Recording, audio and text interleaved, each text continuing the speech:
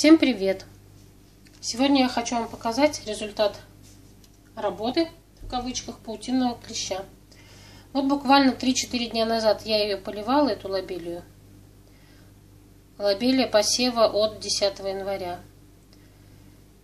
И ничего не заметила. Сегодня, посмотрев на всходы, ужаснулась. Смотрите, на камеру очень плохо видно, но все листики как бы такие вот рябенькие, в сухих точечках, разводах. Появилась красная пигментация.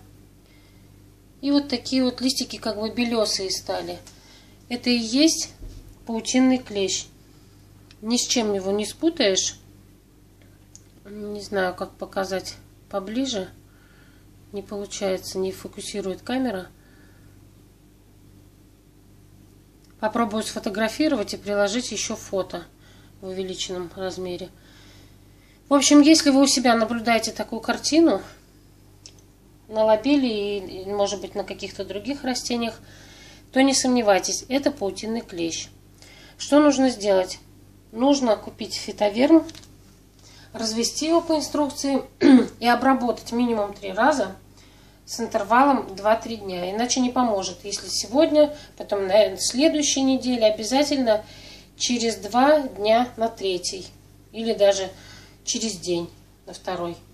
Вот сейчас я обработаю первый раз, потом послезавтра обработаю. И таким образом я проведу 3-4 обработки. Иначе с клещом не справиться. Ну вот такое вот предупреждение. Пожалуйста, будьте внимательны к своим растениям.